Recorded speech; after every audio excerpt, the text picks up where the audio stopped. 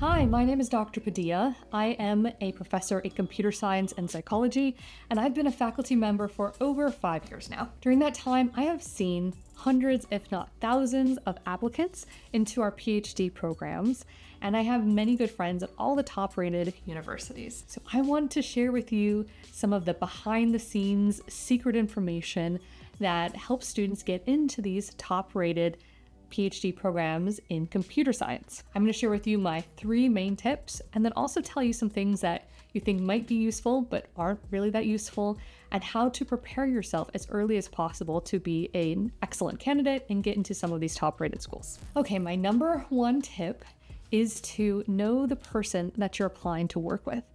I've talked about this in many videos now, but when you apply to a PhD program, you're applying to work with a specific person not the program generally. For that reason, you need to know a great deal about that individual's research, and it's best to have a personal connection with them. Because the truth is, is that all universities will get a few hundred, sometimes a thousand applicants that you have to weed through. But for these top rated places, they're getting many thousands of applicants. And for an individual professor, he or she will have hundreds of, of applicants. And the truth is, is that all these applicants are pretty great. the top 30 will all have awards and papers and maybe even their own grant funding coming in. So it's really hard to actually distinguish among the top candidates, which is what these top rated universities are getting, the top top candidates. So in order to distinguish yourself, trying to meet and make a personal connection with the professor is very, very important. Now, there's some ways that work better when doing that. The top way is to have collaborated with that individual in the past that allows you to know that A, that you like working with them, and B, that they like working with you and and that you're quite good. That can be scary, of course. How do you go about collaborating with a with a professor? Um, but there's a few ways you can begin that process. Um, one is considering asking them to serve as an external advisor on your on undergraduate thesis. Oftentimes, that's a pretty low ask. They might not be willing to do that, but that is one way to kind of get to know them better. Another way is volunteering in their lab. Oftentimes, they have opportunities for people to volunteer, um, especially if you can go there and volunteer for a summer physically in person. That is truly the best way to get one on one hands on experience. And if you know you're talking about a situation where you're trying to get into the top rated universities, there are people willing to do that to move someplace for a summer to volunteer in the lab. And whoever does that is going to be very, very successful. It's of course a huge time commitment, and I'm not saying everyone should do that. Um, but that is a way to get this kind of one on one personal connection with a professor. Another option is to take their classes either online or in person.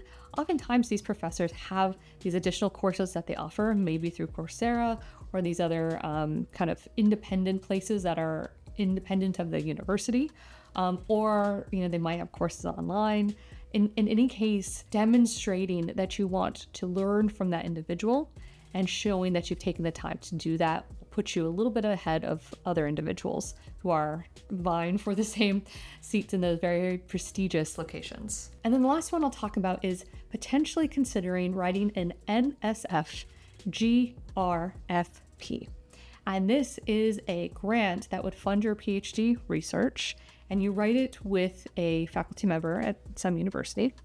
Now, if you write this grant, if you submit this grant before you are admitted into the PhD program, you get one extra time to submit this grant. Normally, you get a single chance, and people submit in their first or second year after they've been admitted to a PhD. But if you submit before you're admitted to a PhD, you get an extra shot. And it drastically increases your possibility of getting it a second time because you'll get a little bit of feedback. So if you begin a dialogue with a professor, you might recommend that you would like to apply for an NSF GRFP and you would be interested if they would be willing to be the, your faculty mentor on that process.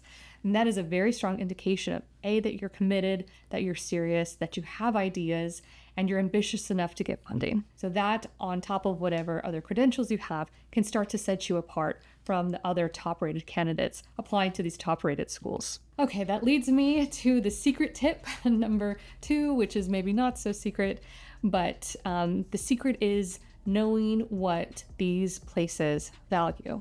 And really, what it is, is evidence of success. the more evidence of success you have, the better.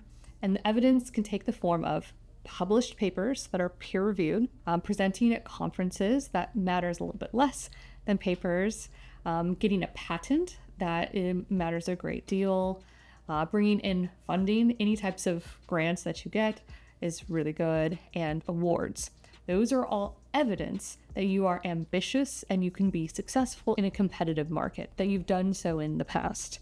But what you'll want to try to do when you're thinking about applying is really focus on padding your resume with those elements published, peer reviewed scholarly work, grants, awards, and patents are your bread and butter. If you don't have any of those things, or maybe in addition to those um, CV lines, another thing you want to make sure that you're doing is to have a very good letter of reference from as many faculty members as possible at your current institution. So, what that means is that you need to be working in their labs for a long time and be excellent, the best student in their lab. And they will write a letter that will wholeheartedly support your application. And ideally, you want to be so impressive to those advisors that they're helping you make connections. They want really to support you and your work individually. So it's very, very important to make those connections in your undergraduate years where it's not just about, you know, getting good grades and passing classes. It's about developing these relationships with professors. What I'm trying to tell you is that these interpersonal relationships matter just as much as all of the test scores um, and the CV lines that you have, because these individuals will be vouching for you. And the word of a professor at one institution often matters more than the grades that you've got in particular courses because we know people in academia a great deal and um, we can trust their opinion. And sometimes test scores and other things are as indicative of someone's uh, potential and ability as someone's one on one experiences. The other way that you can show evidence of success is to have a long track record of doing research my recommendation is to start doing research in a lab as early and as often as possible. What we tend to see is a student might join a lab in their uh, junior or senior year and maybe have one year of lab experience. That is pretty standard for most students. But students who are more competitive, the ones that jump out to us, have spent four years in a lab or, you know, other amounts of time in, in labs that, that is longer than that. Um, that's really something that shows an astonishing commitment and this long track record. And usually, those individuals are also the ones who are more likely to be co authors on a paper, get awards, etc. So, the longer time period you have on your resume in various labs, and you can have one or two labs, etc., um, but the longer period really stands out as showing a commitment to research. Okay, and my third secret trick to getting into a top rated PhD program in computer science is to bring a new skill set. Now, this one is a little bit challenging to sort out. The way you want to think about this is most professors are trying to push the cutting edge, especially at these top rated universities. So they are really looking for the highest impact work they could be doing at any given time, and they need people to help support in that research. So you can take a look at some of the newest publications that they have, some of the ongoing projects, and they need to be recent and new, not kind of historical work. And you can look for the types of skills that could potentially advance that research trajectory. For example, AI is everywhere right now. And, you know, incorporating AI into research is, is a good idea. Um, what we tend to have is lots of students applying right now who want to study AI but don't have a background in AI. So if you're going into an AI lab and you don't have a background in AI, you're not going to get into lab. Of course, if you're applying to work for a different lab that doesn't do AI or um, large language models in some capacity, but you want to bring that skill in and you don't have it just yet, still not useful. so, in order to indicate that you are bringing a new skill set in, you need to demonstrate that you have a superior command of that skill set. And that can be used to facilitate a new research trajectory. That is a little bit of a dance, but you can think about your undergraduate career as carving out um, expertise in in as cutting edge of languages or systems or infrastructure architecture that you possibly can with an eye on using that to advance additional type of research that might not be directly utilizing that those systems now but could really advance and accelerate if they did. Those were my three top secret elements that will help you get into top rated computer science programs. I wanted to take a quick minute and talk about things that don't help that much. Um, these are the things that maybe helped you in your past, but are not as relevant anymore when you're applying to PhD programs. The number one is extracurricular activities. That's nice that you have outside hobbies, but it's not as relevant anymore. When you're being admitted to undergraduate and sometimes master's programs, they want to make cohorts of these well rounded individuals who can bring um, various assets. That is not as relevant to PhD programs. It's more about the who you're going to be as a scholar, and there begins to be more of a separation between personal and professional life to allow you to um, develop yourself as a scholar and as more of an adult in the industry versus this kind of integration of the of the two. So feel free to leave those hobbies off your CV.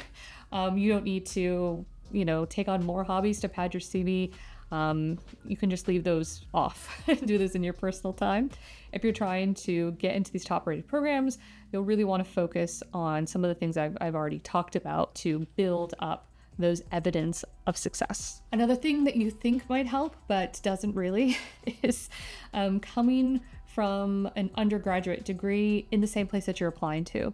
You would think it would make a lot of sense to, you know, continue the work that you're doing with an advisor in their lab or you know stay in the same institution top rated universities usually frown upon that not frown upon it but they want you to broaden your network and part of you becoming as successful and famous as you possibly can is having a large network. I've talked about this several times of how important it is to develop these interpersonal relationships.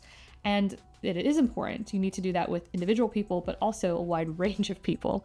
So they want you to expand your network. So it will be harder for you to get into top rated places for which you have already been a student. They're often looking to recruit from other top rated schools that are not theirs to kind of uh, mix it up a little bit. That leads me to my final topic of how do you prepare yourself? I gave you some tricks and tips, but how do you prepare yourself and when do you start preparing?